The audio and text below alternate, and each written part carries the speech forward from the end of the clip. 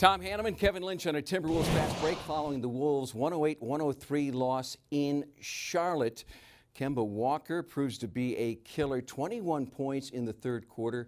He had 34 on the night, on a night when the Hornets were in double digits in threes and on a night when the bench uh, failed to answer the call for the Wolves. Yeah, they really did. They were outscored big time from the bench. Uh, Charlotte had 38 points off their bench, Minnesota nine points.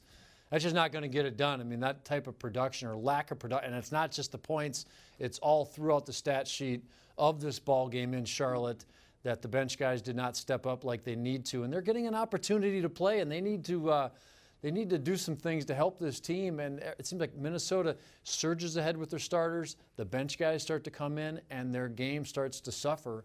And uh, they need to correct this if they're going to win some games before the end of this season. Quick look at tonight's final numbers. Uh, Sam Mitchell addressed the state of his team afterwards. We've been going to our bench lately. They just um, they got to play better, and and, and uh, my conversation with them is going to be start start thinking about playing defense. Get some steals, get some stops, and then get out in transition run, get some easy basket, and that's just got to be our mindset.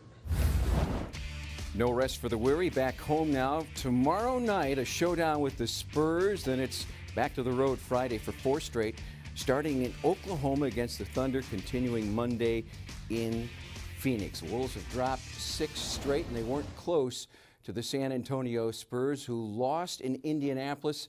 They figure to be angry, but it may be an opportunity for the Timberwolves' young guns.